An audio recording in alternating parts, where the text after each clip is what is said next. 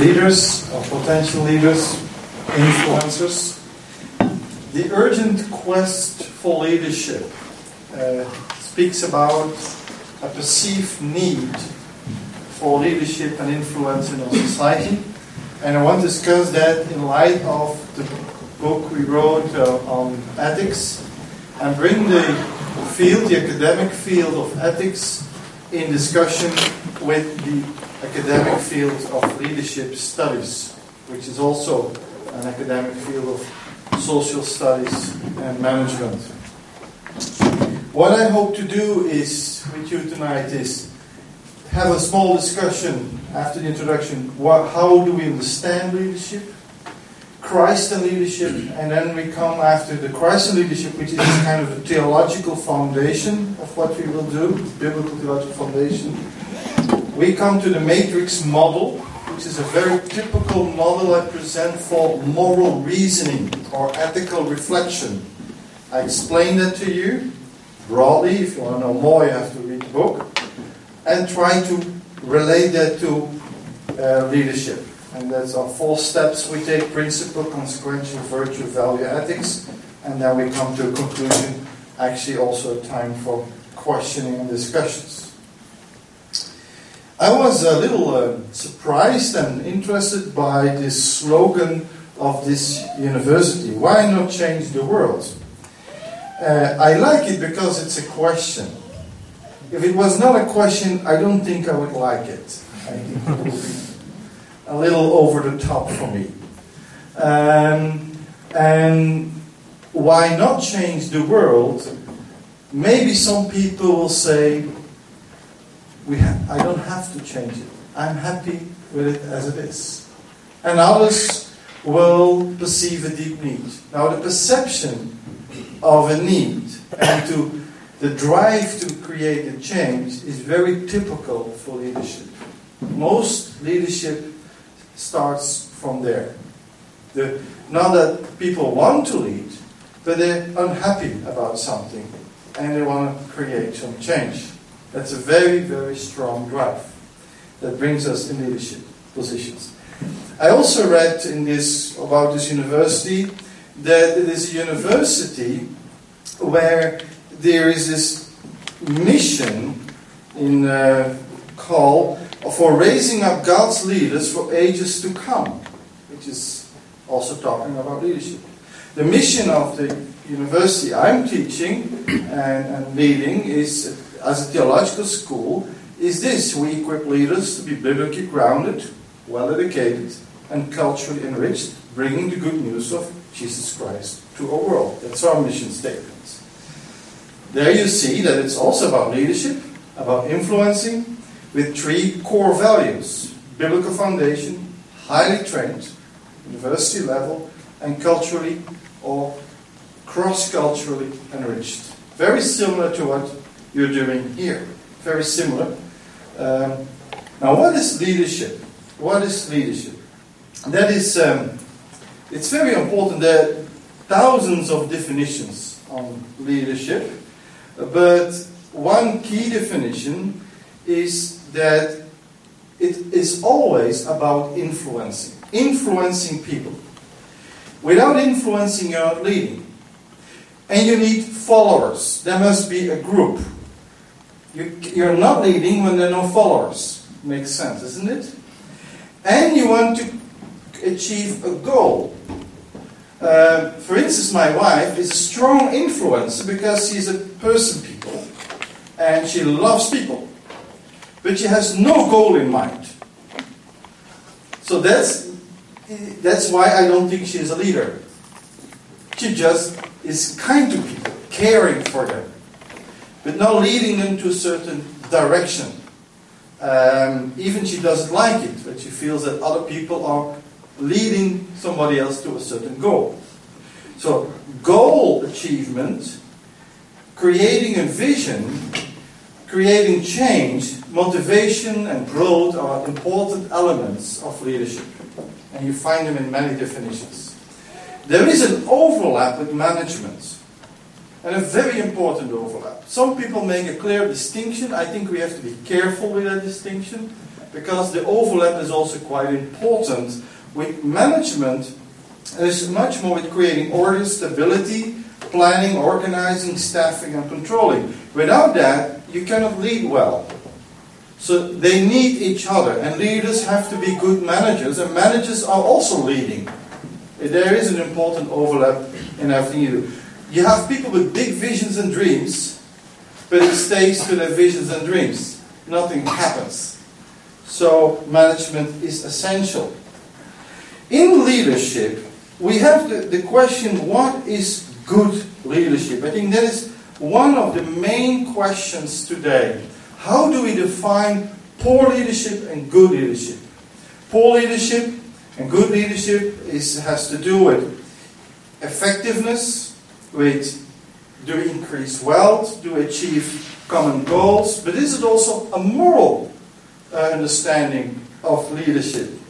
John Stott, a famous evangelical leader, wrote this interesting book with other people, Issues Facing Christians Today.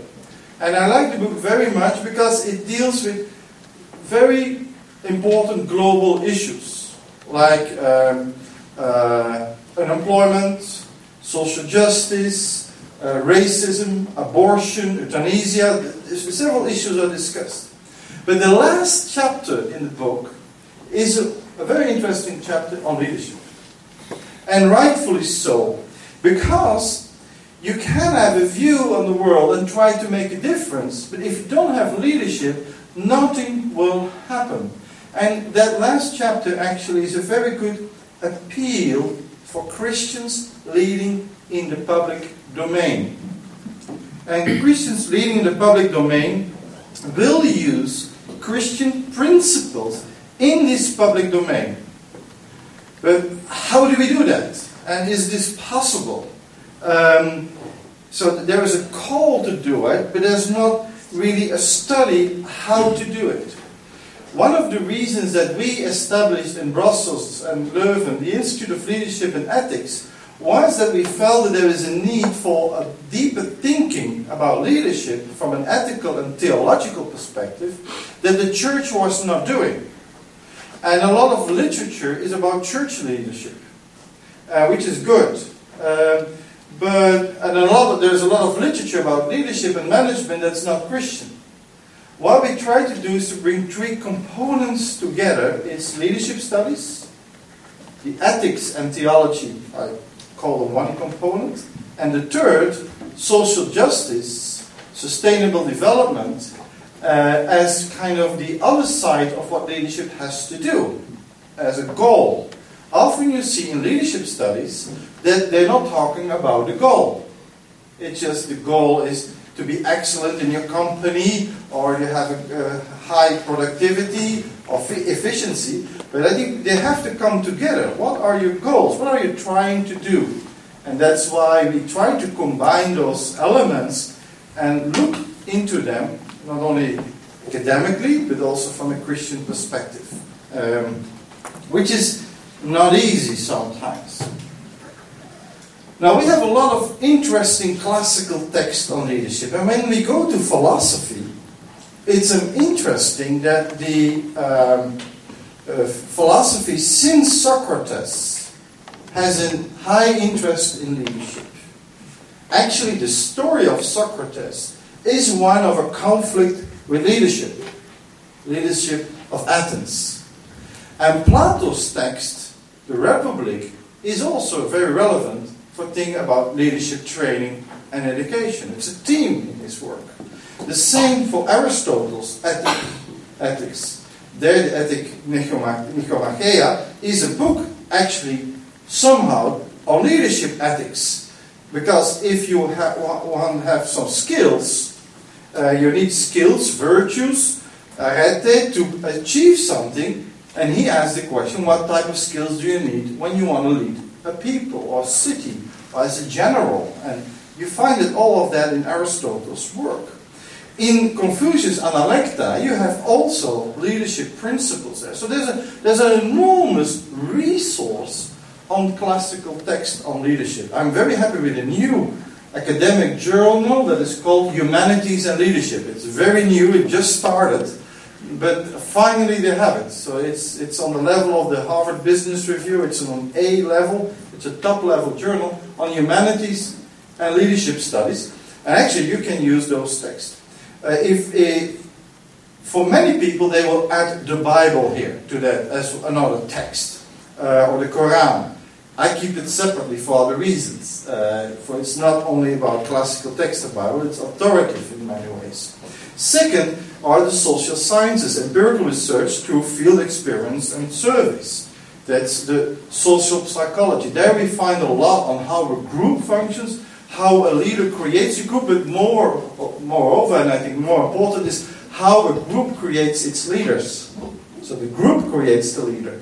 It's not the leader that creates the group. That type of social science studies are very relevant. And the Bible is a, a book that speaks extensively on leadership in Old Testament and New Testament.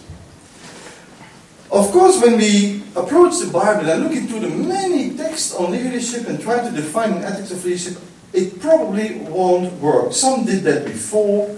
Uh, even the selection of your text is complex, and the salvation history going through phases and the cultures are so different. I mean, how can you use leadership principles in a social system of the ancient Middle East, which was patriarchal, which was pre, uh, which nomadic in many ways, and had a very different style of social relationships than our structures we have. So we have to be very careful with just picking and choosing texts. We need deeper theological reflection to deal with the different and the variation of biblical text. Um, but before we do that, there's one big enemy, I think, in the whole debate.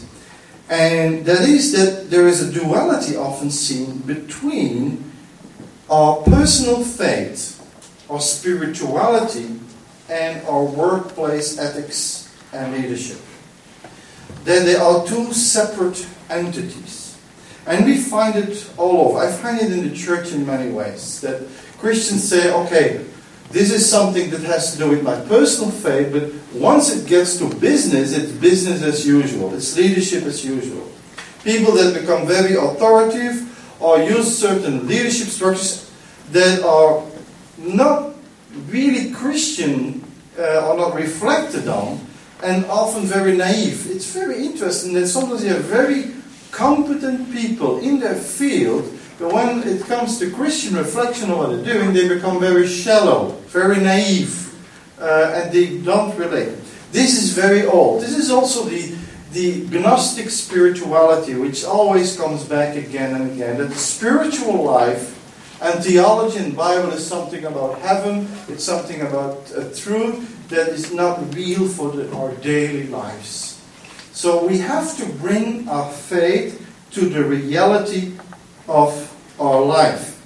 And to do that, um, uh, is the one group will focus on measurable facts, and the other group will kind of, we hope, but we don't see and speak in the air, as if it's very, it's about faith. We hope and we don't see. Now, how do we find a balance between those two that's also real in daily life? This is uh, the institute, what the, our institute does, Institute of Leadership and Ethics. Um, I skipped that. This is more important for me. The reality of Christ. I'm very much influenced by the theology of Dietrich Bonhoeffer, and I did a lot of work on Bonhoeffer, uh, studied him intensively, and I have students still working on Bonhoeffer. Now, Bonhoeffer, as a theologian, German theologian, especially his ethics, that is, he never finished his ethics, but his work on ethics that is not finished, but yet very good as it is, and not well structured, but very good, is very helpful when we come to this area, to this field, when we define good leadership. For Bonhoeffer, he reacts strongly against any form of dualism that disconnects ethics and spirituality from the real world.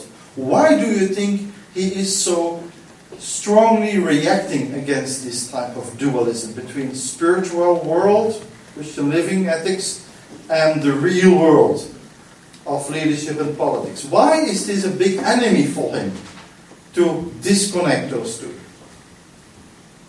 When did he live? Dietrich Bonhoeffer. Yeah, eh? in? In Nazi Germany. What was happening in Nazi, National Socialist Nazi Germany for many Christians? Persecuted. Yeah, they were not really persecuted. No. They were good Germans. And if you're a good German, you just start your classes with Heil Hitler and life goes on as usual. What they did is they disconnected their personal faith, their faith in Christ, from the political realities they were living in.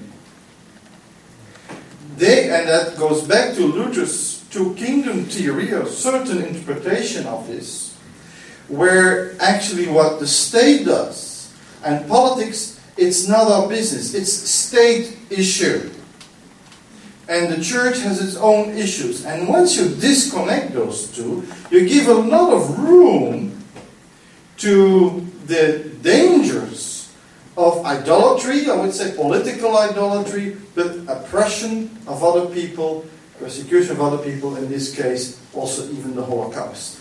So, Hitler didn't consider the church to be a big enemy because the church was doing its own thing.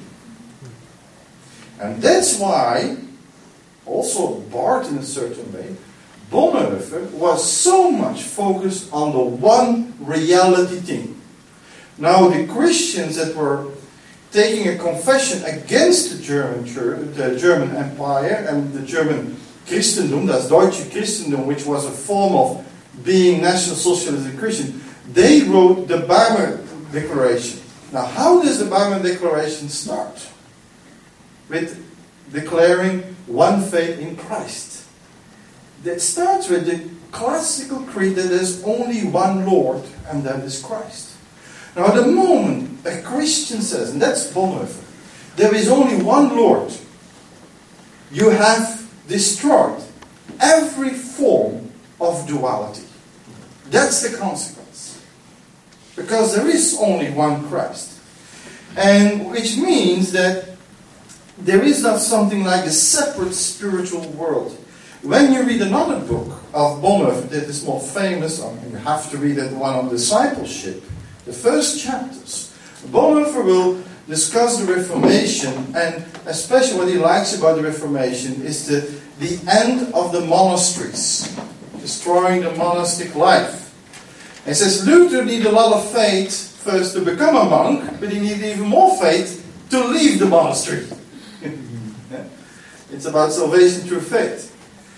But the end of the monasteries was actually the end of a dualistic ethics. That's what he says. Like there is an ethics for the monk, and there is an ethics of the normal common people. Luther and the Reformation uh, made an end of this Catholic dual system of dual ethics. Actually, we are all monks and priests now, also on the workplace. And that is a big change.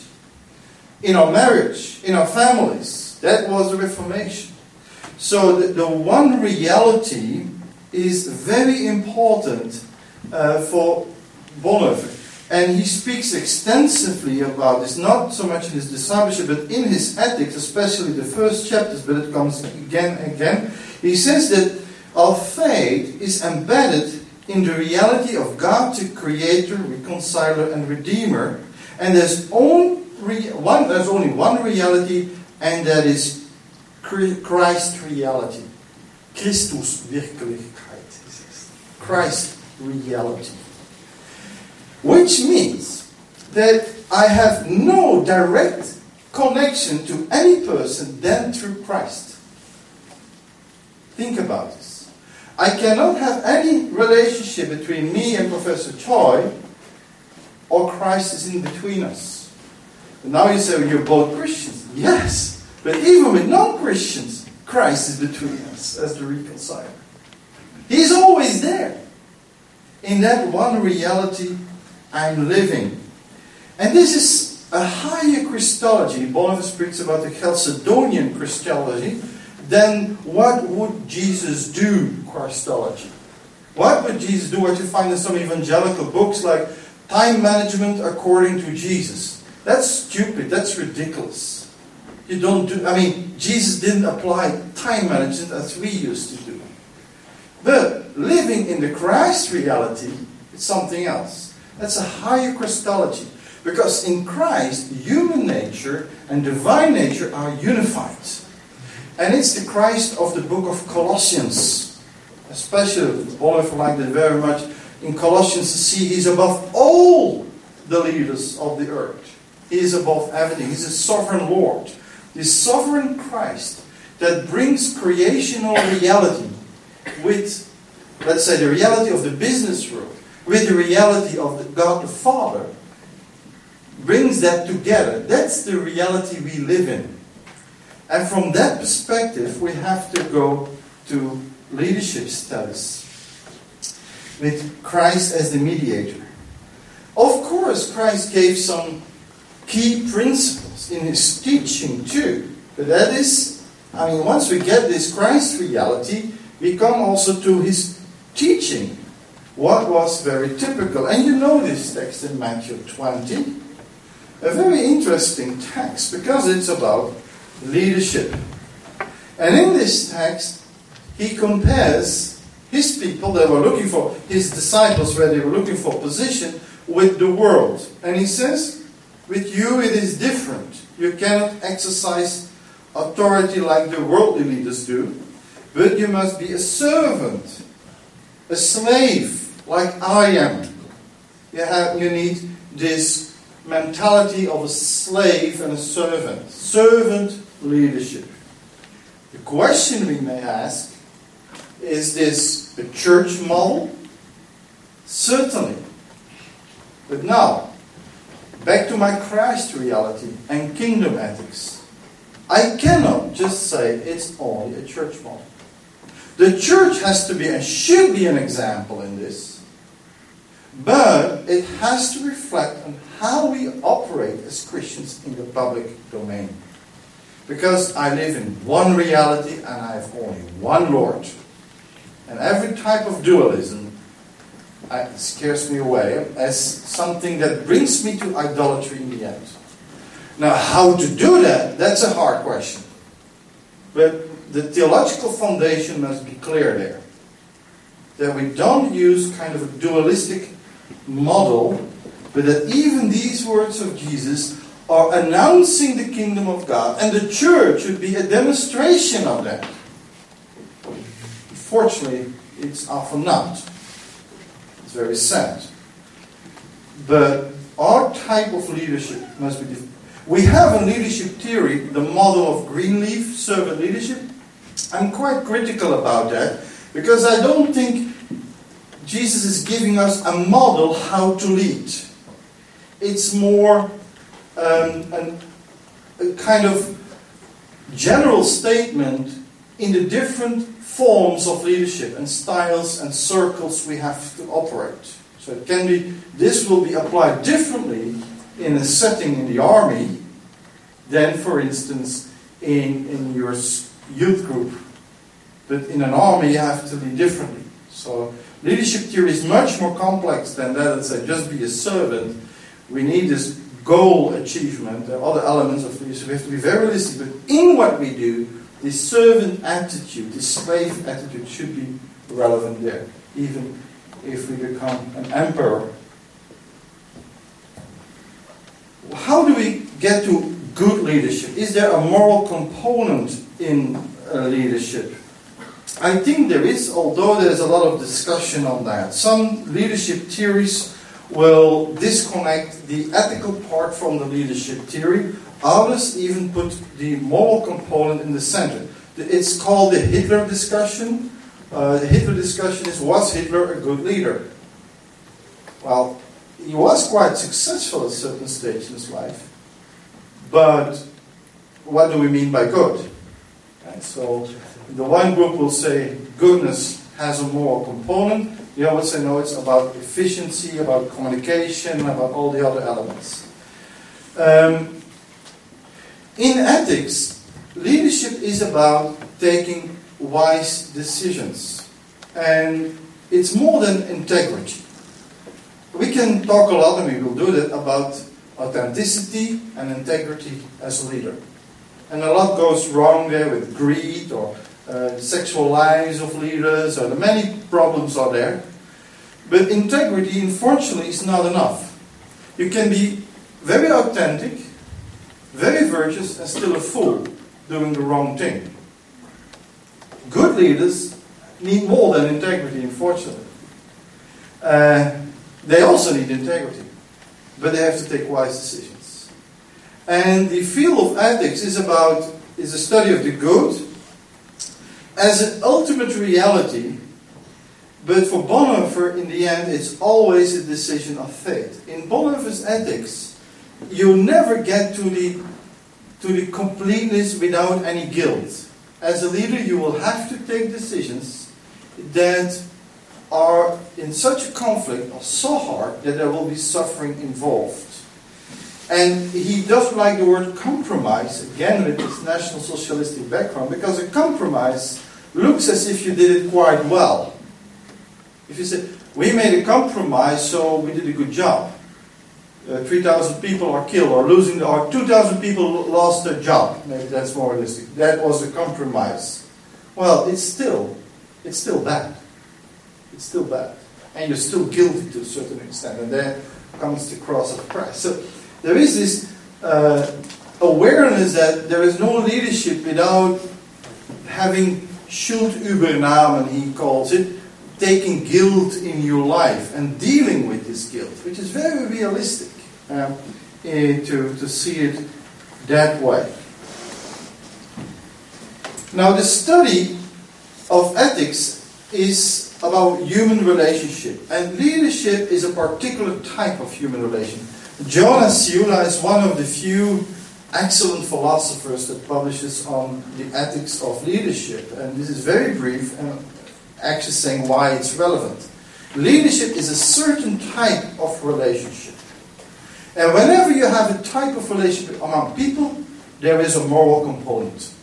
Always. There's a financial component, there's a social, there's a psychological component, but there's also a moral component. Because we're talking about relationships. Uh, the dimensions we can discuss are the, the moral character of the leader. That's one area of study. We can discuss the vision, the values, the program. Uh, some leaders have, for instance, certain economic vision or on climate change, and they have ideas about this, and we can discuss that vision. So, is this a good vision? Is this rightfully so? Um, about uh, social justice issues, but also about technology. Or the process, how you come to your goal, can be discussed. The choices you make as a process. There are three areas of studying the moral components of that. There is a tendency to focus only on the character, which I regret, because when people have a wrong vision and are not applying the process well, they are still behaving evil. Uh, but they don't feel guilty, and they think it's only an issue of moral character. The same with leadership, that there's kind of heroism, a tendency like the heroic, the big man theory, the man that will make the difference wherever you put him. Well, that's not the case in leadership studies, not at all. It's a very typical type of relationship. It's an asymmetric relationship. Uh, you have this little cartoon uh, where this guy on the top of the stone says, Believe me, fellows, everyone from the pharaoh on down is an equally valued member of the team. Well, not really, is it? Not really. Asymmetric relationships and, and that's the, also the, the strange thing about using concepts like servant leadership.